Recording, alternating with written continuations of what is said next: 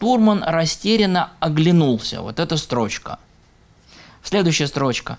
На Фандорина. Тот показал на.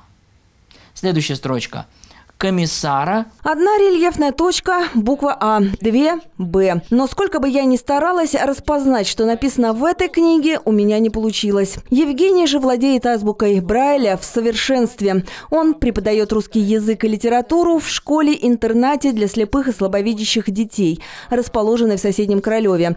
Также мытищенец редактирует книги для слепых в одном из московских издательств. Шесть рельефных точек, несколько десятков комбинаций. Такой способ способ общения с внешним миром придумал в середине XIX века француз Луи Брайль, ослепший в двухлетнем возрасте в результате несчастного случая. Эту азбуку адаптировали и под кириллицу, и даже под иероглифы, то есть и в Китае тоже есть Брайль. До 1918 года азбука шрифта Брайля была под запретом, потому что считалось, что слепые – чего-то там кодируют, чего-то там планируют против страны. Но благо нашлись умные головы, которые доказали, что никакая это не шифровка, а это возможность читать, писать, общаться. До сих пор Евгений читал, сканируя обычные книги и воспроизводя их через специальную программу.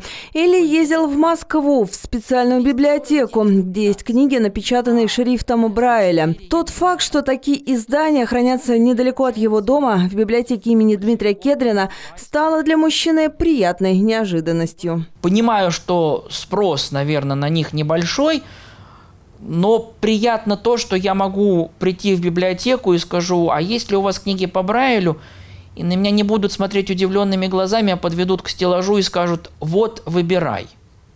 Это реально, пусть будет выбор небольшой, но есть что почитать, мне не надо никуда ехать, я возьму и почитаю. В библиотеке имени Дмитрия Кедрина есть несколько постоянных читателей, умеющих пользоваться такими книгами. С помощью специального каталога незрячие мытищенцы могут выбрать произведение на свой вкус.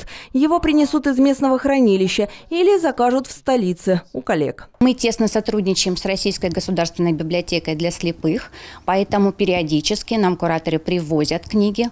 Существует определенный обмен, можно заказать. А, они привозят нам и книги на шрифте Брайля, и книги с укрупненным текстом для людей слабовидящих, и флеш-карты для плеера, которым можно послушать так называемую говорящую книгу. Кроме того, у нас есть свой плеер, э, который тоже можем предложить нашим читателям. Даже с переходом на цифровое общение азбука Брайля по-прежнему остается актуальной. Как и среди зрячих поклонников литературы, так и среди незрячих есть любители бумажной версии. Но главное – найти необходимую книгу слепые мытищенцы могут недалеко от дома. В библиотеке имени Дмитрия Кедрина учитывают интересы абсолютно всех читателей. Надежда Звягинцева, Денис Петров, Первый Мытищинский.